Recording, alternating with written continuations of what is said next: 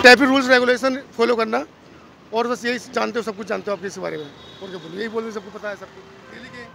आप डेली के हैं, सब जानते हैं, आपको समझाना, मेरा उद्देश्य सिर्फ़ ये, देखो, मैं भी गर्मी में किस लिए हूँ? वास्तव में हमें बहुत प्रेम है। आप सर, देखो, जैसे कुछ ये स्लोगन है, जहाँ इधर आए मेरे पास बैठे। जो हमारे, देखो, दिल्ली ट्रैफ़िक पुलिस की तरफ़ से स्लोगन होते हैं, ये कितनी अच्छी बात है कहते हैं। गाड़ी चलाते वक्त फ़ोन पर ना करें बात।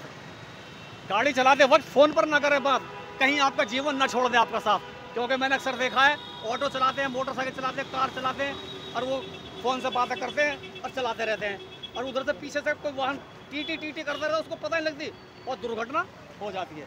तो इस दुर्घटना को रोकना है। हमारे देश में लगभग प्रति वर्ष कितनी होती है मौतें? डेढ़ लाख मौतें होती हैं। डेढ़ लाख मौतें होती हैं और उनमें मरने वालों की अधिक संख्या जवान लड़कों की होती है। तो उन मौतों को रोकना है, अपने देश को प्रगति की तरफ़ ले जाना है। और देखें जगह स्लोगन एक, ये देखो और इधर आओ। ये उन लोगों के लिए स्लोगन है जो दोपहिया वाहन पर बिना हेलमेट के चलते हैं। हेलमेट नहीं लगाते, सर? हाथ में लेके चलते हैं, बिल्कुल सही कह रहे हैं तो इसके लिए सफ़र में कितनी भी कम हो दूरी, सफ़र में कितनी भी कम हो दूरी, हेलमेट लगाना है ज़रूरी। क्योंकि बहुत से लोग कहते हैं, साहब, मैं तो यहीं तक जा रहा, मैं तो सब्ज़ी लेने जा रहा। ऐसा नहीं बोलना चाहिए। और देखें, हमारे हेड कांस्टेबल यहाँ पर मौजूद हैं।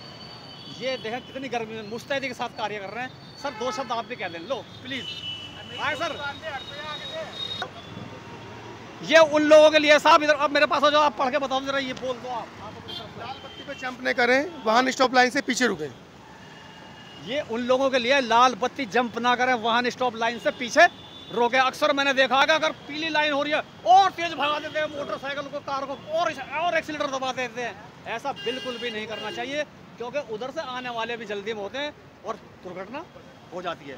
तो मैं ज़्यादा समय न लेकर मैं मोहम्मद अखलाक सैदी, गांधी छोलसवाला रोड सेफ्टी से ट्रैफ़िक सेंट्रल आपसे दरख्वास्त करता हूँ कि आप मेरी बातों को हमारी दिल्ली ट्रैफ़िक की बातों को सुनेंगे और मानेंगे। एक बार ज़ोर से बोल दें।